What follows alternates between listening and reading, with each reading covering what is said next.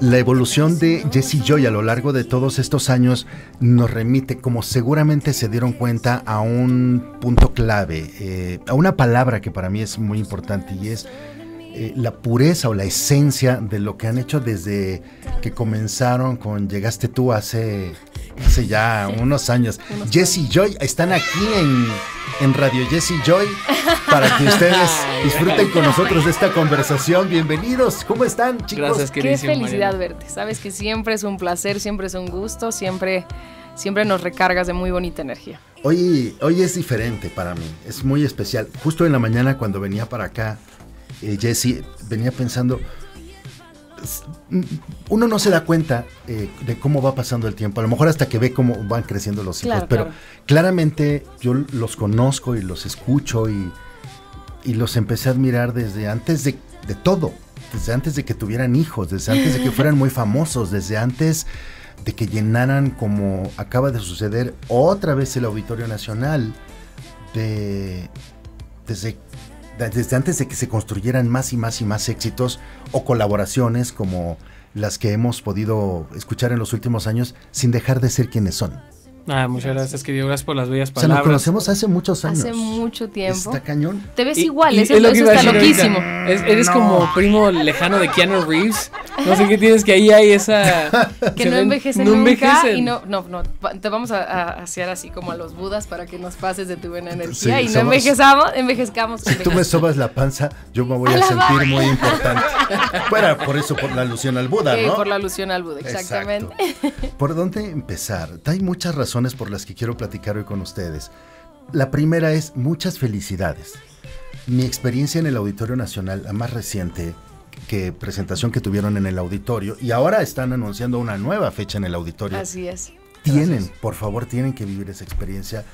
Fue muy por encima de mis expectativas. Ay, gracias. los he visto en distintos escenarios, en diferentes momentos, pero lo que pasó en, en, en el auditorio fue algo muy especial.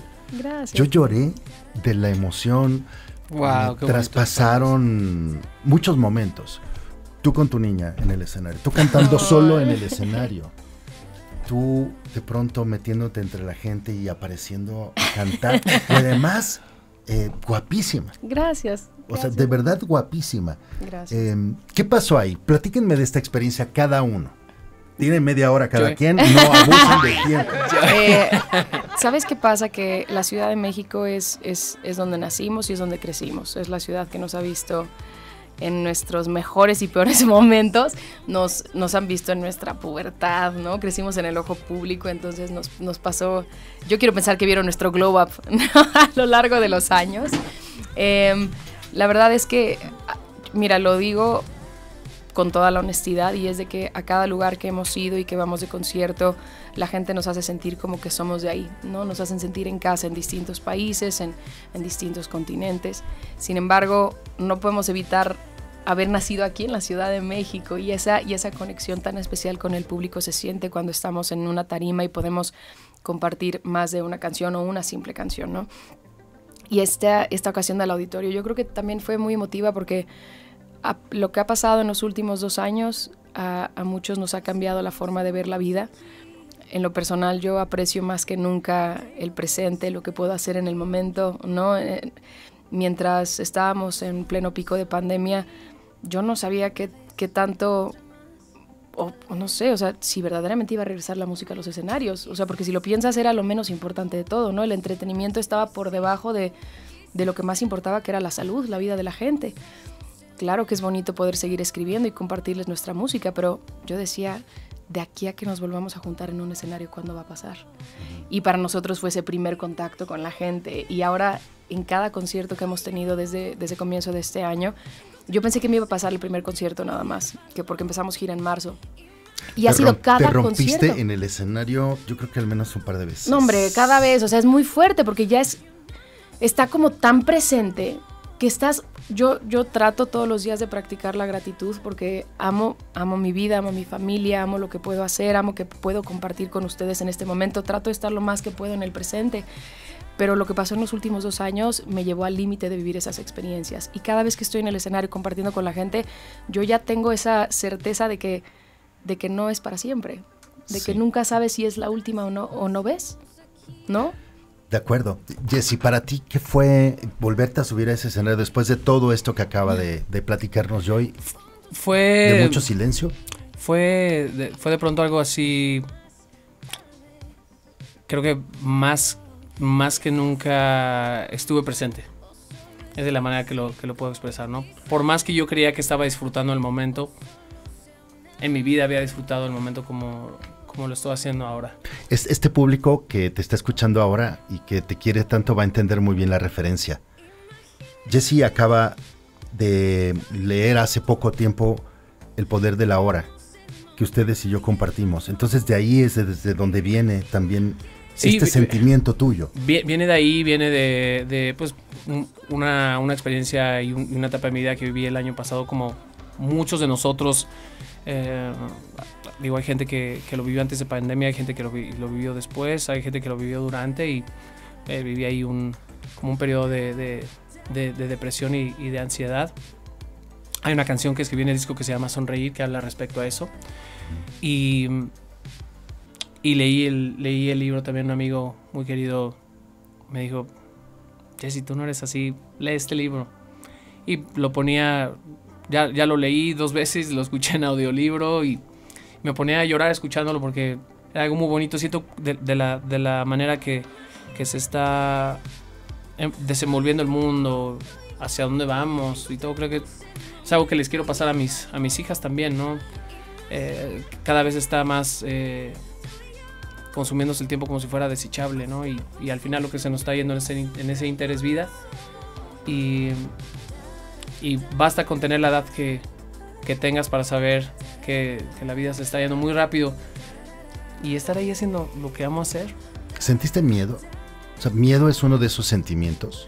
Pues, pues creo que, o sea, hubo miedo, hubo, hubo un, montón de, sensaciones que nunca había eh, experimentado, ¿no? Eh, hubo eh, un poco de todo, ¿no? un poco de todo y, y, el estar ahí haciendo lo que, lo que más amo hacer, el sentarme a ver una película con mi hija, y no, no solo por el libro, también creo que la vida es, sabia y a través de las, las experiencias que vivimos aparentemente negativas, me puse en una perspectiva de vida que nunca había estado, así que también agradezco por esos momentos aparentemente malos, que en realidad son difíciles y son pruebas de la vida y etapas de la vida. Si no, no estaría disfrutando las cosas como lo estoy haciendo ahora.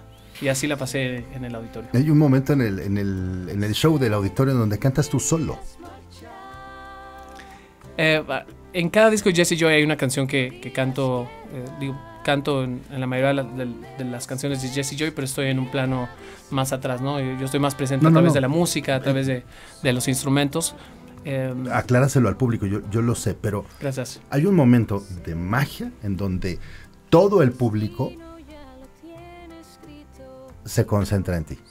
Pues mira, eh, si, alguna vez han entrado a una, una, tienda donde hay perfumes, te dan a oler unos perfumes maravillosos, pero antes de darte la siguiente fragancia te dan a oler un, poquito de café. Entonces, creo que yo soy el momento del café ahí antes de que... Quiero que sea mi hermano. Antes de que regrese es, otra fragancia muy bonita.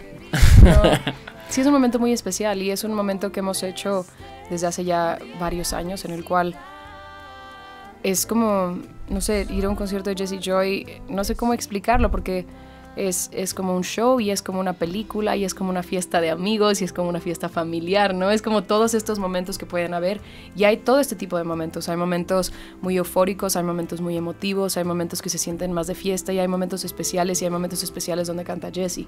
Y es, es ese momento en el que hay como, como una suspensión en el aire, ¿no? Y todos estamos flotando. La evolución de, de Jesse Joy al, al paso de los años es es muy relevante, pero al mismo tiempo, insisto, este sentimiento de origen, no sentimiento, este, este toque de originalidad, de pureza, de autenticidad. Eh, o sea, no importa si cantan con J Balvin. gracias. O, o si hacen una balada hermosa entre ustedes dos sigue la marca de Jesse Joy sintiéndose con mucha fuerza. No debe ser nada fácil también sostener eso. Pues, eh, ¿cómo te, cómo, no quiero sonar como, no sé, eh, tenemos la gran ventaja que desde un inicio, cuando empezamos a hacer nuestra música, se nos permitió ser nosotros quienes hacemos nuestra música, ¿no? Conozco a intérpretes maravillosos que no quieren escribir, que simplemente dicen a mí, dame una historia desgarradora que yo pueda, que yo pueda llegar a, a interpretar. Incluso Elton John, Elton John no hace, no escribe nada de letras. Él, él, él dice, necesito que me escriban tal y tal letra. Él llega y le pone música y no la vuelve a visitar después de media hora, la termina y no la quiere volver a tocar nunca jamás. Dice que así, así tiene que quedar. Como el método ¿no? de cada persona. Yo creo que la metodología de Jesse Joy es que somos nosotros quienes estamos detrás de la música, que desde un inicio es la forma en la que hemos logrado conectar con la gente, ¿no? a través de nuestra propia verdad, a través de nuestra, de nuestra propia palabra. Y, y es como difícil, sino que imposible para nosotros quitar esa esencia, porque somos las mismas dos personas con todas estas experiencias encima, sea ansiedad, sea miedo, sean vivencias, sea, sea experiencia que nos ha dado la vida y simplemente es como cambiar el lente de dónde se están escribiendo estas canciones. Para ti una etapa personal de la pandemia tuvo significados pues al revés, hermosos. Eh, fue, yo vivo muy agradecida porque la verdad yo sé que fueron muchas realidades muy distintas que se vivieron en todas partes del mundo y yo tuve la grandísima fortuna que pude estar con, con mi familia en un refugio que llamo hogar y pude ver a mis dos chiquitos crecer, que me da mucha gracia que tú y yo siempre nos vamos a encontrar comiendo. Sí, sí, sí, sí. y de, de haberte encontrado en, Sí, comiendo, pero comiendo, siempre nos ha tocado comiendo. Es que eh, hemos vuelto a coincidir, pero siempre me agarra con el taco en la boca y ya me da una pena. No, no, al contrario, a mí me da más pena. La última vez me dijo, eh, así me, como que me señalaba, yo decía, sabe querer que la salud de beso, no, que traía un cilantrazo en el Por eso, No es verdad, por no eso es lo verdad. de la sobadita de la paz es, ¿y ahora qué comiste, Ah, no? ¿Qué desayunó el bebé? No, ¿Ya pero ahorita que mencionabas hace unos momentos sobre todas las etapas que hemos vivido juntos, me acuerdo que una de las veces que nos habíamos encontrado, yo estaba en mi etapa de casi soltería. Y la última vez que nos encontramos, nos encontramos con mis dos bebés y mi suegra. Carriola. Y así hacía la familia muchísimo más extendida. Y es muy bonito, ¿no? Es muy bonito que, que la gente conecte con, con lo que hacemos y que con el paso de los años sigan queriendo escuchar lo que tenemos que decir. Sí, por supuesto. Bueno, el tema es que hoy estamos con clichés. ¿Es verdad que clichés tomó como un muy buen rato en quedar listo? Pues eh, empezando por el tema clichés, lo escribimos hace casi ocho años, lo escribimos primero en inglés. La canción clichés. Escribimos clichés y ¿Cómo lo debe de pronunciar alguien como yo? Como quieran, la verdad, eh, digo, le puedes decir cliché o cliché. Cuando nosotros lo escribimos la primera vez, es una de las canciones que escribimos. Estábamos nosotros en un viaje de, de trabajo en Estados Unidos y nos juntamos con un amigo en Los Ángeles que no hablaba español y la canción nació como clichés porque la escribimos en inglés. Y a la hora de traducirla, para Jess y para mí ya no la podemos decir en español porque llevamos tantos años habiendo escuchado como clichés clichés, ya decir veces que- cliché me sonaba un poco raro Pero porque ya me había acostumbrado. Nos acostumbramos. Pero escribimos, eh, la escribimos originalmente en inglés. La mayoría de las canciones del disco las escribimos eh, el año pasado. Y escribíamos ahí a distancia, mi hermana y yo. Terminamos ya juntándonos en, en Los Ángeles para, para armar todas las piezas de rompecabezas del álbum. Y había un par de canciones que al igual de, cli- de que cliché la, de que clichés las habíamos escrito hace varios años, ¿no? Pasó con Respirar, eh, clichés y... Dos cuerpos, un alma. Dos cuerpos, un alma. Respirar. Respirar también antes del amanecer fue una de las canciones que hicimos hace, hace varios años. Pero entonces, perdóneme, eh, nada más para entender. Mientras eso sucedía y pasaban cosas hace ocho años, ustedes iban avanzando, iban haciendo otras Sí, sí, cosas. haciendo otras cosas. ¿Sabes qué pasó? Que no sé- Ah, eh, Jess y Joy declaran haber sacado canciones del cajón. del cajón. El- nosotros cuando hicimos estas canciones estábamos de gira por varias partes del mundo, ¿no? Y habían este tipo de canciones que cuando estábamos de viajes promocionales por Inglaterra las hicimos con amigos que no hablaban español. Entonces, a la hora de estar en, en- en- en pandemia, es la primera vez en nuestra vida artística que tenemos tanto tiempo como el primer disco en hacer un álbum. Porque las canciones que sacamos en nuestro primer disco son canciones que habíamos escrito en toda nuestra vida. Pero entonces se hicieron en inglés y luego. Y las volvimos a escribir en español. Ah. el año Pero no las escribimos como una traducción, sino que No todas. capturamos mucho de la esencia y las volvimos a escribir, porque ya estamos en otra, en otra etapa de nuestra vida y en otro lugar. Y sentimos que eran canciones eh, atemporales, al menos para nosotros dijimos, esta canción sigue sonando, sigue sonando, sigue sonando, se sigue sintiendo ahí y sentimos que a lo largo de nuestra carrera hemos tratado de cantar canciones y compartir con ustedes las canciones que escribimos que, que sentimos que romperán la barrera del, del de la edad, del género, de, del tiempo. Del tiempo y, y sentimos que estas canciones habían tenido ese efecto y las escribimos en español y de repente, o sea, no las tradujimos, las reescribimos en español y de, pronto tuvieron... Así nos pasó con Ecos de Amor, la escribimos primero en inglés y la dimos a conocer... Igual dueles. En como mm. Ecos de Amor y terminó siendo nominada como canción del año en los Grammys. En castellano, claro. Pero, pero ¿sabes qué fue lo bonito? Que cuando nosotros estábamos escribiendo el, el año antepasado en, en videollamada, hicimos las canciones las más nuevas antes. Y dijimos, oye, suena como que pertenecen a esta misma camada tal y tal canción.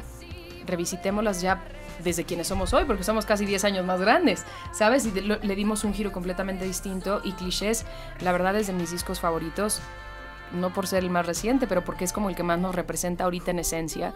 Y es el disco que yo creo que más suena a las influencias de la música que a Jesse y a mí nos, nos trajo hoy en día a ser este criterio musical que tenemos. Por eso tomamos como, como nombre del disco, digo, este es un cliché también de Jesse Joy, siempre, siempre tomamos una canción que sentimos que tiene como ese peso eh, sentimental, emocional, de llevar el nombre del disco.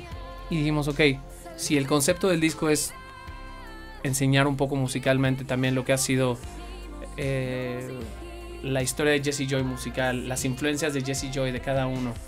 Pues es, un cliché de nosotros, entonces clichés nos hacía sentido que fuera porque hay clichés tanto buenos como malos, ¿no? Y sí. digamos, es un cliché de Jesse Joy, el disco se llama Clichés. Eh, sí, sí, sí. Me, hace todo el sentido del mundo ahora. Hay canciones que, que, trascienden y hay canciones que son espectaculares, pero que no tienen esa misma suerte por diferentes factores. Por algún factor que no. Sí, que, es ajeno. Que no está en tus manos, ni en las nuestras. Que es ajeno a ustedes, pero la obra artística en sí misma, o incluso con el paso del tiempo, Sí, hay canciones que hasta después, años después. Prenden mucho después, justo eso. En el caso de Jesse Joy hay unas que ya están, unas que están en camino, unas que todavía no nacen, pero que va a suceder. Pero no hablemos de canciones, hablemos del concepto de Jesse Joy, el concepto artístico, eh, los creadores de todas estas obras. Mm, están en un, en un nivel, yo creo que en el punto más alto de su carrera al día de hoy, pero es apenas abrir la puerta a todo eso que viene. Un poco quiero que exploremos para allá. Porque debe haber una estrategia. Porque tiene que haber un sentido y un propósito de a dónde vamos. No nada más saber si suena el teléfono, vamos y cantamos y si no, no. Sino hacia, hacia dónde va Jesse Joy.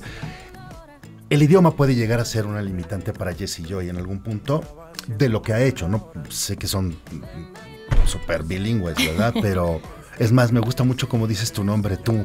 Sí, Joy. Cuando dice Jessie Joy y tiene una, no sé qué, qué, qué sé Cuando estuvimos, cuando estuvimos de, gira promocional en el Reino Unido, nos, dimos cuenta que se, volvieron locos cuando cantamos en español, ¿no? Ellos estaban, están acostumbrados a escuchar eh, eh, en su idioma y, y aunque podemos cantar pues de manera fluida en los Se hablan mejor inglés que ellos, pero no, no, no.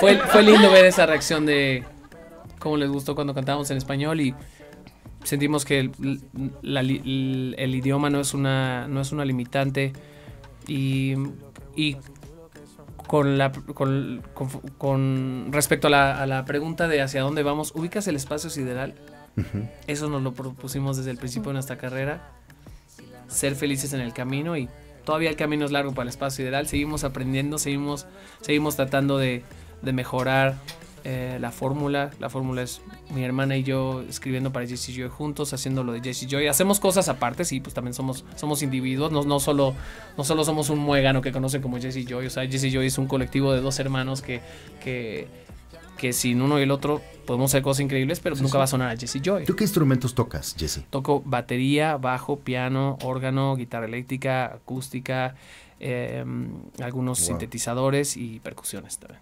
Sí, eh, eso obviamente nos da una, una fotografía muy importante de, de quiénes son. Pero el tema es ahora para ti? ¿Para dónde van? ¿Cuáles son los alcances? Mira, hace, hace ratito antes de entrar al aire estábamos hablando de cómo se pasa el tiempo, ¿no? Y que, que ves a tus hijos y que tu hija la chiquita tiene 16. ¿no? Y que me dices, por más que te dicen, te lo dicen hasta que no lo ves, no lo sientes, ¿no? Yo lo veo con mis chiquitos. El otro día estábamos buscando fotos de Noah, mi nena, cuando tenía la edad de Nur, que, que tiene un año, nueve meses más, este, menos que ella, ¿no? Y cuando vimos las fotos de mi chiquita de tres años, de más bebé, nos soltamos a llorar diciendo, esta chiquita ya no existe, esta es una nena, ¿no? Más grande.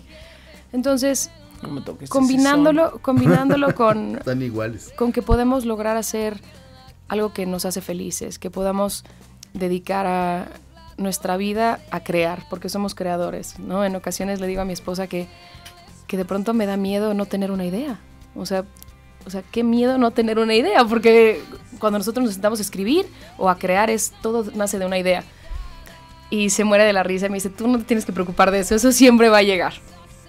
Y cuando pienso en el futuro, ahora que ya tengo a mis, a mis, a mis bebés y a mi esposa y mi familia, algo que platicábamos Jess y yo hace, hace un par de años y que lo hablamos mucho en pandemia hacia el futuro de Jess y Joy fue nuestra familia está creciendo, nuestros hijos y nuestras hijas requieren de que estemos presentes, de que estemos con ellos y, la fortuna de poder estar compartiendo estos dos años que acaban de pasar fue algo que yo voy a atesorar toda la vida. Y lo que nos propusimos hacer de aquí en adelante es, vamos a hacer lo que valga la pena el tiempo que vamos a estar lejos de nuestra familia. Porque ya tenemos la bendición y la fortuna de hacer lo que amamos hacer. Hemos tenido una carrera muy fructífera, con mucho éxito, que nos ha dado de comer, que nos ha puesto un techo sobre nuestra cabeza. Pero con eso dicho, que sepan que a cada ciudad que vamos, a cada país que vamos, a cada avión que nos subimos, a cada camión que tocamos, que nos subimos para ir a tocarles, perdón, y a cantarles, es porque le tenemos esa importancia de estar lejos de nuestra familia y estar cerca de ustedes. Nos hemos hecho a lo mejor un poquito más selectivos, pero creo que tenemos... Eso importa mucho. Yo creo que tenemos, estamos en un punto en el que lo podemos hacer y lo hacemos con mucho amor y con muchísimo respeto, porque los límites también son sanos y nos los estamos poniendo primeramente a nosotros. Mira, eh, acabo de encontrarme un audio. Eh, a ver, espérame. Ay, ay, ay, ay, no, no me hagas esto. Tengo tanto tiempo ya este año sin ver a mi esposa y a mis hijos y me duele mucho. Los extraño mucho y trato lo más que se puede estar con ellos, pero tu carrera la carrera está destruyendo la vida familiar. No destruyendo, pero tu relación con pero no hay una estabilidad emocional absoluta porque pues no nos vemos. No es lo mismo el teléfono que la imagen en vivo de del padre, por ejemplo, para Pepito, que ya me necesita tanto. Actualmente ha cambiado las faldas de la madre por la imagen del varón y necesita estar ahí. Cuando me encontré eso en TikTok me, me vino un estremecimiento tal. Yo con José tuve un cariño y una relación y una cercanía preciosa. Pero cuando ves hacia atrás toda esa historia y oyes hablar de Pepito y ahora ves a, Pepito y la cara desencajada, es que ustedes escucharon solamente el audio, la cara desencajada de, José te dice mucho. Justo el equilibrio es la clave del éxito. Justo lo, justo lo, la película que te comenté este, antes de entrar al aire de, de esta, una película de hace muchos años se llama Hook, el regreso del Capitán Garfield. Hay un momento que le está diciendo. Hay, hay un hay un momento que la esposa le dice a Robin Williams, porque estaba constantemente con el trabajo y todo, y dice, atiende a tus hijos, te necesitan, solo va a ser unos años que quieren jugar contigo, y ya después tú vas a estar buscándolos a ellos para que te, te regalen un minutito de su tiempo, ¿no? 100%, 100%. Yo estaba así viendo la película, berreando, y sobre todo mi hija, la mayor, acaba de cumplir 18 años. Y, veo a la chiquita que, cumple 10 cumple 10 años en un mes y digo, o sea, no quiero perder ningún momento ahorita ya. Sí. Que es parte de los eh, de las cosas buenas que la pandemia creo que también dejó. Nos puso en perspectiva todos, pausa y pon atención a lo que realmente importa.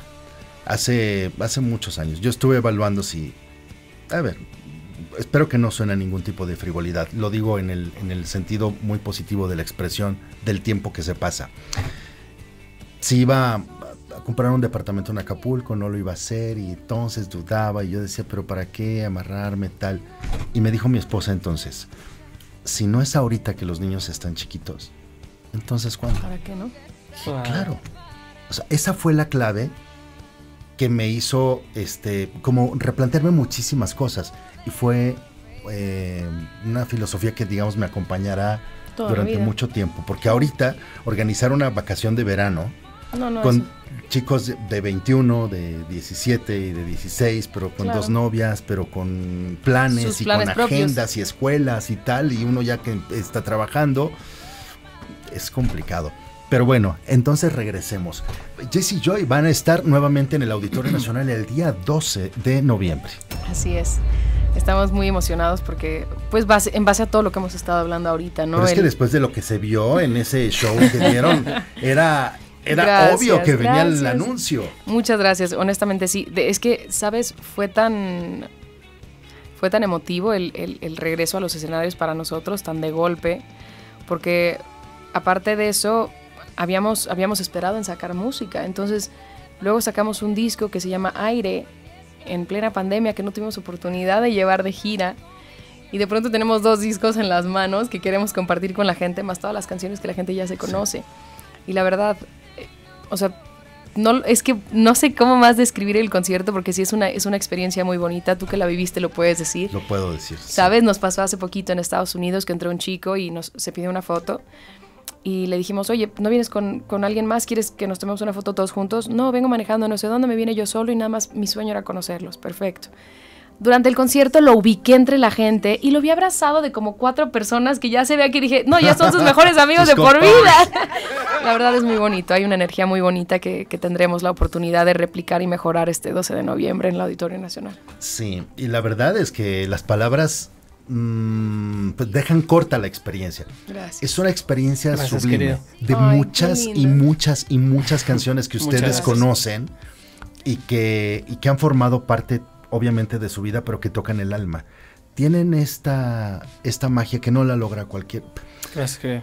Gracias, eh, y, es que no tiene que ver con, que haya unos mejores que otros. Es que lo que hace Jesse y yo no lo hace nadie. Eso sí, no lo, de verdad no lo puede conseguir nadie en un escenario. Muchas, muchas gracias. Eh, Así es que muy buena producción, un audio espectacular. Bueno, la familia estaba en la fiesta de la fiesta No, no, no, estaban A mí me dio, esto a lo mejor no lo sabes y dije, híjole, qué pena con, con Joyce y Sente. Mira, me pongo. ¡No, cuéntame! Se, acerca su, se, acerca tu suegra a saludarme, que es divina. Sí, Mileti, te amo. Mariano, ¿qué onda? ¿Cómo estás? No sé qué. Oye, pues aquí, qué contento, qué padre que viniste. Sí, sí, sí, estoy muy emocionado.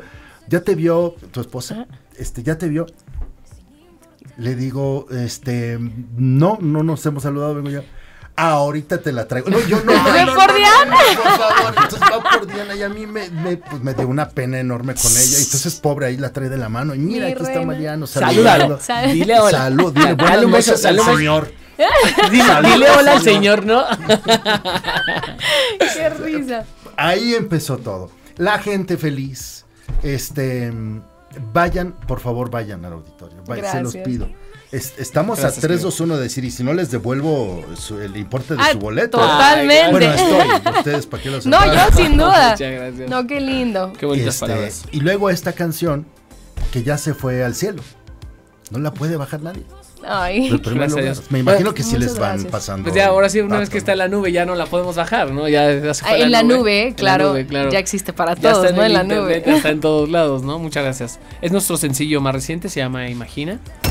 Em, viene viene más música ahorita en el inter de, este, de este capítulo de clichés de Jesse Joy. Y muy contentos con la, con la reacción de la canción. Nos acaban de avisar hoy, hoy en la mañana que la canción lleva ya tres semanas número uno en consecutivas, sí. consecutivas en radio en nuestro país. Y la verdad nos, nos da mucho gusto que, que sea principalmente en nuestro país. Donde a mí me toca oír los dos lados de la historia. Sí. Al, fin que ya no estamos al aire, eso lo puedo decir, pero entonces oigo la parte de... ¿Ya no estamos al aire? Ok, qué bueno que me dices.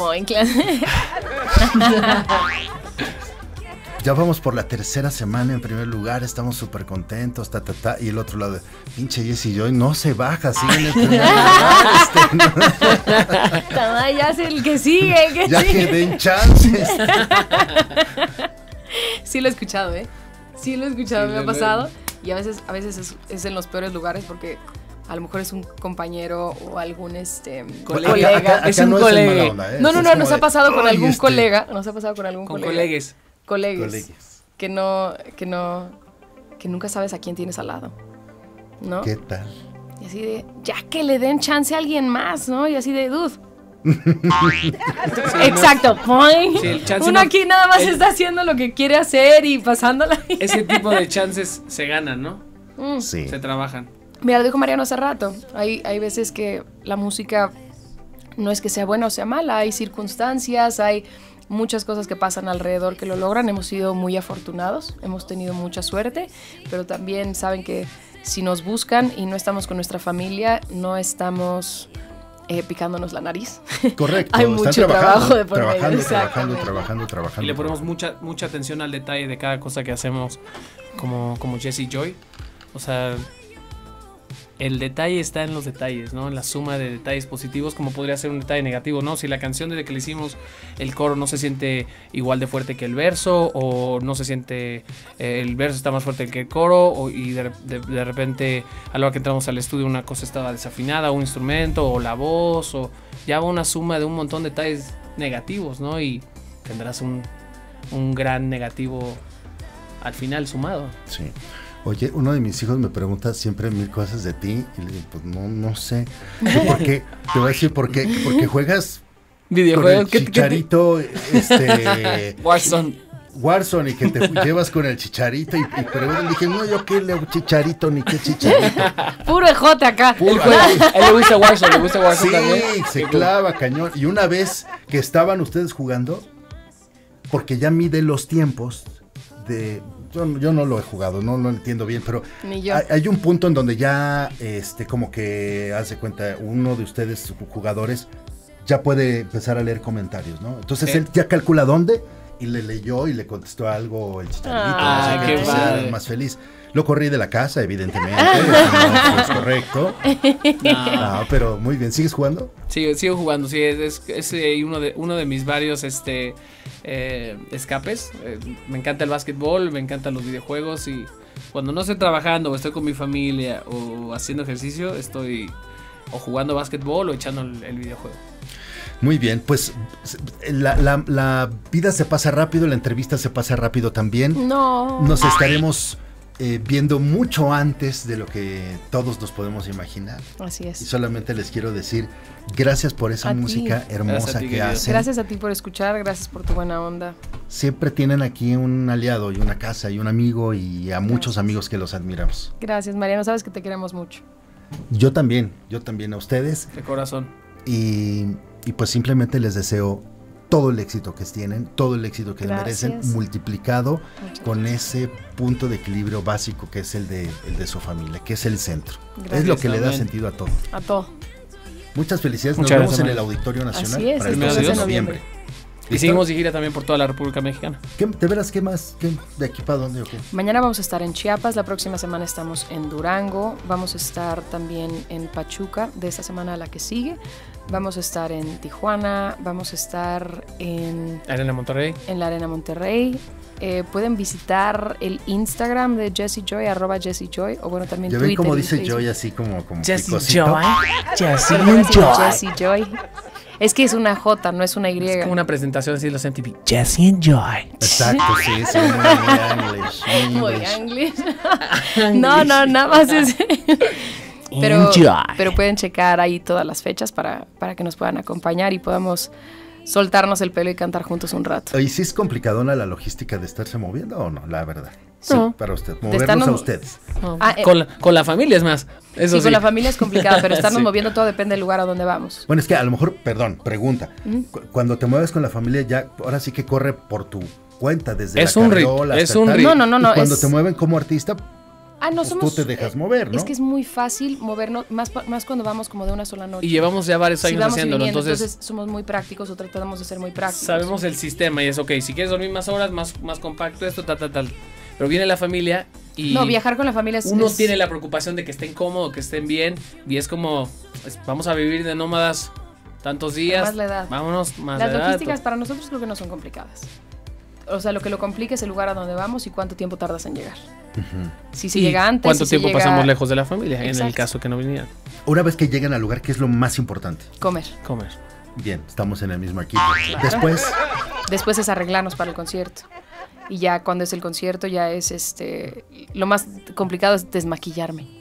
mm, y vocalizar y estas cosas. No, es todo eso está incluido en la arreglada. O sea, cuando nos estamos preparando para cantar es, es tener el tiempo contado para, para los compromisos que se tienen que hacer, ciertas fotos, prepararnos antes, tener que calentar, que la garganta esté lista. Eso es de ah, o Sí. es cantar canciones. No, no, no, es, es tal cual lo hiciste ahorita tú. Es- son diferentes ejercicios vocales. En diferentes escalas, va subiendo, bajando, subiendo, bajando. Para que una vez que yo ya llegue arriba, es como si un- un- una persona que hace pesas tiene que calentar y estirar antes para empezar de poco peso para no llegar a desgarrarse. Porque es un músculo. la Son garganta. unos ejercicios de vocalización que le dio nuestro querido Juan Luis Guerra. Me compartió su. Sí, eh, y son, son ejercicios vocales. exclusiva. Es- es- son como 20 minutos. Como 20 minutos de preparar la, la garganta para que cuando yo ya suba, yo no caliente durante el concierto, sino ya desde la primera canción suba así, como pueda brincar como trampolín. Claro, al final la- las cuerdas vocales son un músculo, ¿no? Hay que, hay que calentarlo y estirar y todo. Y cuando alguien canta, canta, canta, canta profesionalmente y hace giras y cobra por, por hacer esas giras, eh, canta en su casa. Todos los días. A todas horas. Lo no peor, me para la Lo boca. peor es cuando canta algo que, que, que no nos guste tanto, se nos pega de todos modos. No cantes eso, Joy, por favor. Cuando vivía en casa de mis papás, estábamos más chiquitos, decían que yo tenía el poder de hacer cualquier cosa un hit. Entonces yo podía cantar la cosa más desagradable. Y era, por favor, ya para, ya no me lo puedo sacar de la cabeza. Pero ahora es diferente, porque ahora en casa se canta mucho Baby Shark. tu, tu, tu, tu, tu". Exacto, Se sí, las sí. regalo para el resto del día. Baby Shark. Las traen ahora ustedes, chicos. Baby Shark. Te hubiéramos odiado si hubieras di- dicho bebito fiu fiu o no sé, bebito, ¿ok? Todavía no me la sé. Entonces, no, no, no, no, No, no voy a llegar ¿Sabes ahí. la historia? No, déjenme, déjenme con mi Baby Shark.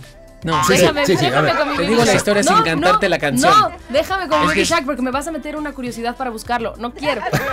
No, No, te, no. no te va a servir, no le va a No servir. me va a servir. servir, Pero no, No. es tan pegajoso como. Nada es tan pegajoso como Baby Shark. Nada. De nada. acuerdo, de acuerdo. Nada.